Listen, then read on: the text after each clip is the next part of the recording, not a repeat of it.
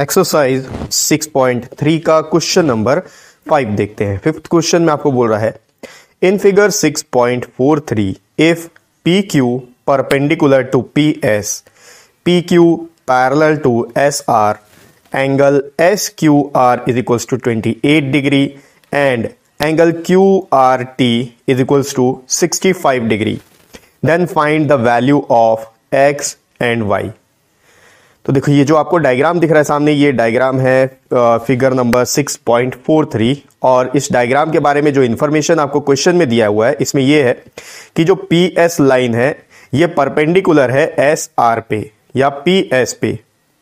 ठीक है P Q और पी एस एक दूसरे के परपेंडिकुलर है। इसका मतलब जो पॉइंट पी है, वहाँ पर 90 डिग्री का एंगल बन रहा है। अब इसके बाद आप बोला है कि पी क्यू और एस आर जो है, ये पैरल लाइन्स हैं। आप देख सकते हो, ऊपर पी क्यू है, नीचे एस आर है। ये दोनों पैरल लाइन्स हैं। अब एंगल के बारे में आपको बोला है कि जो एंगल एस क्यू आर है, आप देख सकते हो यहाँ पर एस क्यू आर वो है 28 डिग्री का।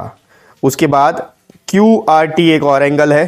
क्यू आर टी जो ट्राइंगल के बाहर आपको दिख रहा होगा exterior angle Q R T वो मेज़रमेंट है आपका 65 डिग्री अब आप देखोगे तो यहाँ पर P S P O S को मिलाकर एक ट्राइंगल फॉर्म हो रहा है। आप देख सकते हो ऊपर में। तो इस ट्राइंगल के अंदर आपको एक्स और वाई दिख रहा होगा। इस एक्स और वाई का वैल्यू फाइंड आउट करना है, ठीक है? क्या होगा, कैसे होगा? चलिए व्हाइट बोर्ड में देखते हैं।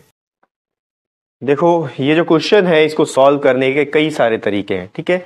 ये चीज़ मैं आपको चैप्टर के स्टार्टिंग से बताते आ रहा हूँ। अब इस पर्टिकुलर क्वेश्चन में आप बहुत सारी चीज़ें यूज़ कर सकते हो। जो मेथड आपको इजी लगे, आप वो मेथड फॉलो कर सकते हो।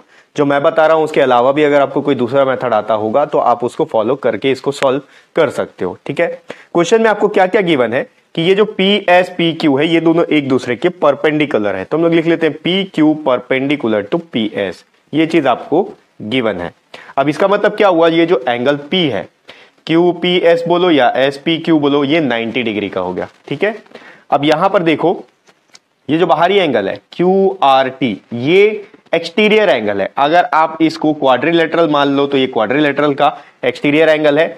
और अगर आप यहाँ पर देखोगे तो क्यू एस आर ये एक ट्राइंगल है, ठीक है? इस ट्राइंगल का भी ये एक्सटीरियर एंगल है। तो ट्राइंगल का जो एक्सटीरियर एंगल होता है, उसको लेकर एक थियोरम है, जो हमने इस एक्सरसाइज के स्टार्ट इंट्रोडक्शन पार्ट में डिस्कस किया था। उसको भी हम लोग यूज़ करेंगे, ठीक है? तो यहाँ देखो, ये वाला जो एंगल है, इस ट्राइंगल के अंदर तो एंगल Q का मेज़रमेंट आपको 28 डिग्री दे दिया है और जो एक्सटीरियर एंगल है इसका मेज़रमेंट 65 डिग्री दिया हुआ है। आपको फाइंड आउट करना है वैल्यू x और y का जो कि इस वाले ट्राइंगल में। अब अगर ये एक ट्राइंगल है आप देखो पी क्यू एस ये एक ट्राइंगल फॉर्म हो रहा है तो ट्राइंगल के अंदर आप किसी भी एंगल को आ, का मेज़रमेंट अगर आपको फाइंड आउट करना हो तो आप एंगल सम प्रॉपर्टी का यूज़ कर सकते हो। लेकिन यहाँ पर प्रॉब्लम यह है कि सिर्फ़ आपको एक एंगल का मेज़रमेंट पता है। अगर आपको दो एंगल का भी मेज़रमेंट पता होता तो आप यहाँ पर इजीली फाइंड आउट कर सकते थे, ठीक है? तो अब हम लोग यहाँ पर क्या करेंगे? देखो, सबसे पहले तो यहाँ पर देखो, ये जो ट्राइंगल है क्यू एस आर ठीक है? इस क्यू एस आर में हम लोग एक्सटीरियर एंगल प्रॉपर्टी को यूज़ करेंगे। एक्सटीरियर एंगल प्रॉपर्टी एक थ्योरम है, जो ये बोलता है कि किसी भी ट्राइंगल के जो एक्सटीरियर एंगल का मेज़रमेंट है, वो उसके ऑपोजिट साइड के दो इंटीरियर एंगल के सम के बराबर होगा। तो अब देखो, ये जो आप देखो ट्राइंगल क्यू एस आर ठीक है? और यहाँ पर ये जो एंगल फॉर्म हो रहा है, ये इस ट्राइंगल के बाहर हो गया। इसका जो दो ऑपोजिट एंगल्स है, वो कौन कौन सा होगा? एक ये वाला और एक ये वाला, क्योंकि ये इसके साथ वाला एंगल है तो इसको छोड़ दो। इसके जो ऑपोजिट साइड ये वाले और ये वाले। तो इन दोनों का जो सम है, वो 65 डिग्री के इक्वल होगा। तो हम लोग यहाँ पर लिख लेते हैं एंगल एस क्यू आर पहले ट्राइंगल लिख लेता हूँ मैं। In triangle S Q R angle S Q R plus angle Q S R Q S R is equals to angle Q R T ठीक है? यहाँ पर आप लिख सकते हो एक्सटीरियर एंगल प्रॉपर्टी। अगर आपको थ्योरम पूरा याद है तो आप थ्योरम का पूरा स्टेटमेंट भी लिख सकते हो। या फिर सिर्फ़ एक्सटीरियर एंगल प्रॉपर्टी लिख लोगे तो भी सफिशियंट है। वैल्यू पुट करते देखो एस क्यू आर का वैल्यू आपको दिया हुआ है। एस क्यू आर इस एंगल का मेज़रमेंट 28 डिग्री है। तो आ गया 28 degree plus Q S R Q S R इसका वैल्यू हमको पता नहीं है। तो angle Q S R is equal to Q R T Q R T इसका मेज़रमेंट टेक्स्ट बुक में आपको क्वेश्चन में दिया है। 65 डिग्री ठीक है? 28 को राइट साइड शिफ्ट करते हैं angle Q S R is equal to sixty five degree minus twenty eight degree देखो, अगर मेरे से सब्ट्रैक्शन में कोई गलती हो जाता है तो आप उसको सुधार लिया करो और कमेंट बॉक्स में कमेंट करके बता दिया करो, ठीक है? क्योंकि पिछले क्वेश्चन में एक गलती हो गया था, मैंने उसको एडिट करके ही ठीक किया है। आप उस वीडियो को देखोगे तो आपको समझ में आ जाएगा कि मैंने एडिटिंग किया था। सब्ट्रैक्शन में गलती हो जाता है या फिर किसी भी कैलकुलेशन में गलती हो जाता है तो आप उसको सुधार लिया करो, ठीक है?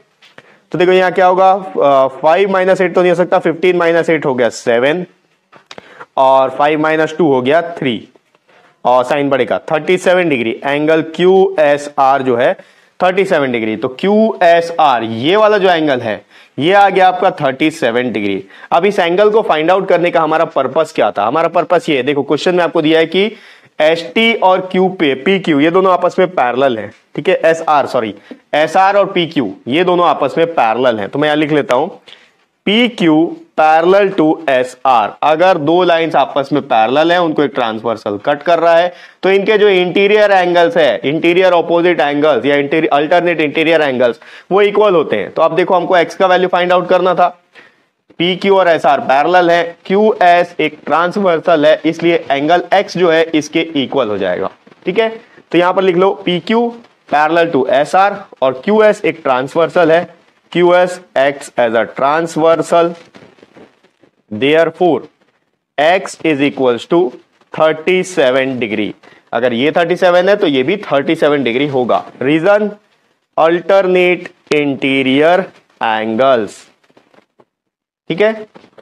एक्स का वैल्यू तो मिल गया हम लोग को, ये वाला एंगल कितना डिग्री का आ गया आपका? 37 डिग्री का। अब आप देखो, ऊपर में ट्राइंगल है पी क्यू एस वैल्यू हमको फाइंड आउट करना है वाई का। एक्स का वैल्यू मिल गया। इस ट्राइंगल में पी एंगल जो पी है, इसका मेज़रमेंट 90 डिग्री होगा। क्यों होगा? क्योंकि क्वेश्चन में आपको बता दिया है कि P Q P S perpendicular है। P Q perpendicular to P S ये दोनों परपेंडिकुलर है, इसका मतलब ये एक 90 डिग्री का मेज़रमेंट है। अब यहाँ लिख लेते हैं now in triangle P Q S आप पी क्यू एस लिख लो क्यू पी एस लिख लो एस पी क्यू लिख लो, कुछ भी लिख सकते हो ट्राइंगल का नाम, ठीक है? अपने अकॉर्डिंग आप लिख सकते हो। तो यहाँ पर क्या होगा? ये वाला एंगल ये वाला ये वाला, तीनों एंगल का जो सम है 180 डिग्री का होगा angle sum property of triangle तो मैं लिख लेता हूँ एंगल पी क्यू एस ये वाला angle plus angle Q P S ये वाला angle plus angle P S Q P S Q is equal to one hundred eighty degree क्या रीजन है? Angle sum property of triangle ठीक है?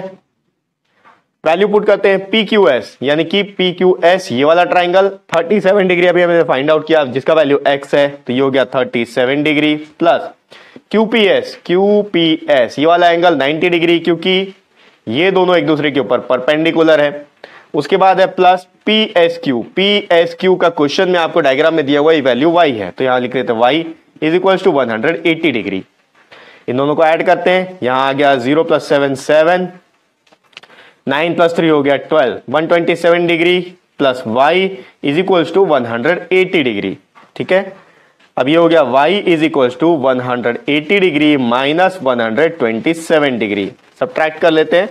Ten minus seven हो गया three seven minus two हो गया फाइव और one minus one zero. Y का वैल्यू फिफ्टी थ्री डिग्री ये वाला जो एंगल है, ये फिफ्टी थ्री डिग्री का हो गया। तो आपका एक्स का वैल्यू भी फाइंड आउट हो गया वाई का वैल्यू भी फाइंड आउट हो गया। ठीक है? तो ये हो गया एक्सरसाइज सिक्स पॉइंट थ्री का फिफ्थ क्वेश्चन